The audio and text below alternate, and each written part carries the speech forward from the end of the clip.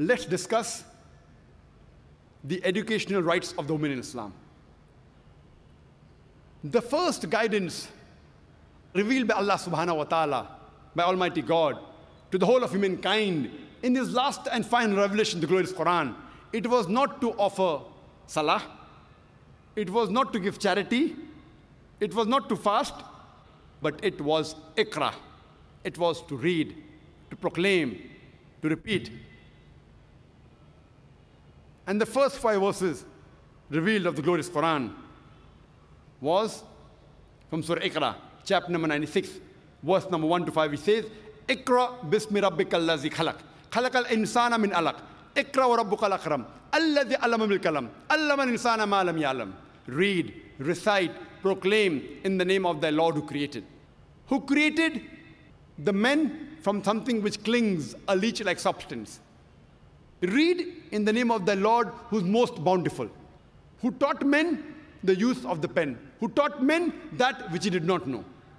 The first guidance given by Allah subhanahu wa ta'ala in the Quran, it was to read, and it was to both male and female. Our beloved Prophet Muhammad said, it's mentioned in Sahih Hadith of Ibn Majah, Hadith number 224, the beloved Prophet said, Talabul ilm faridatun ala kulli Muslim. It is obligatory on every Muslim, man or woman, to acquire knowledge. The Prophet specially told the parents to educate the children, especially the daughters. It is the duty of the husband to give education to their wife, especially religious education. And if they don't, she has the right to go to the court, to the judge, and demand for it. If he cannot teach it himself, he'll have to send her and see to it that he educates her. There is a chapter in Sahih Bukhari when one hadith, the woman, they approach the Prophet and they tell him that you're always surrounded by men. Why don't you give us a special time? And the Prophet agreed and is to specially dedicate time to educate only the women. He also sent Sahabas to specially educate the women. And if you read the history of Islam, 1400 years ago, in the days of ignorance, in Yom al-Jahiliyyah, at that time, we have examples of many women, several women who were scholars. The best example I can think is Aisha bint Abi Bakr. May Allah be pleased with her, the wife of the Prophet.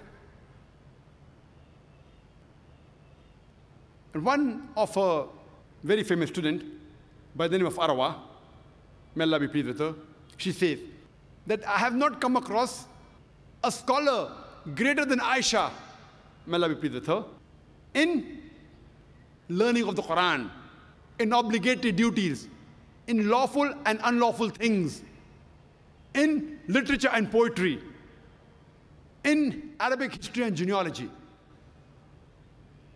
And when we read the seerah of Hazrat Aisha, may Allah be with her, we find out that she lived many years after the death of the Prophet, and she guided many of the Sahabas. And she even guided all the four Khulafa Rashideen.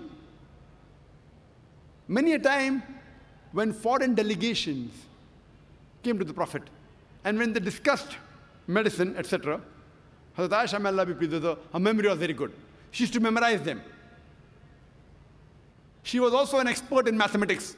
And after the demise of the Prophet, many of the Sahabas came to her, especially while dealing with Mirat, while dealing with inheritance, because she was expert in mathematics.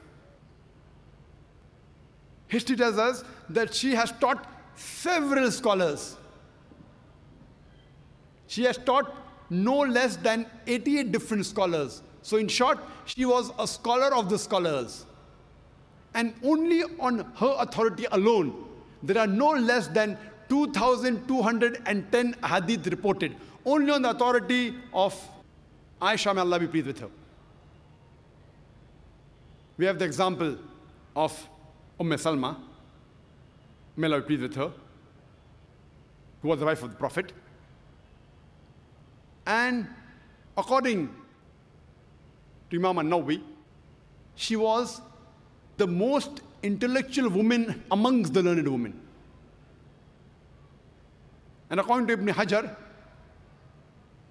he calls her as an authority. We have the example of Safiya, may Allah be pleased with her, who was the wife of the Prophet. And Imam Nawawi calls her as an intellectual woman. We have the example of Fatima bint Qais, was one of the Sahabiya of Prophet but she was so learned and the immense knowledge she had that once there was a discussion on issue of fiqh, and she had a point of view, and Hazrat Aisha, may Allah be pleased with her, and Hazrat Umar, may Allah be pleased with him, they objected, but they could not prove her wrong. She was so knowledgeable. We have the example of Umm Sulaim, may Allah be pleased with her, was the mother of Hazrat Anas, may Allah be with him, was the famous Sahaba. And according to Ibn Hajar, he says that she was a very intelligent woman. And Imam Nawawi calls her as authority. We have the example of Umm Darda, who was the wife of Abu Darda. And Imam Bukhari, in his Sahih Bukhari, he calls her as an authority on the science of hadith. We have the example of Sayyid Nafisa. Sayyid Nafisa, she was a scholar and she taught many students. One amongst her students was Imam Shafi. May Allah have mercy on him. We also have the example of Aisha bint Saad ibn Abi Waqas. She too was a scholar, and amongst her students, one of the students was Imam Malik. May Allah have mercy on him. Rahimullah.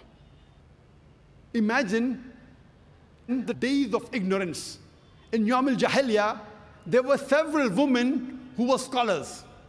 At that time, people were hardly educated, and imagine we have examples of several women who were great scholars.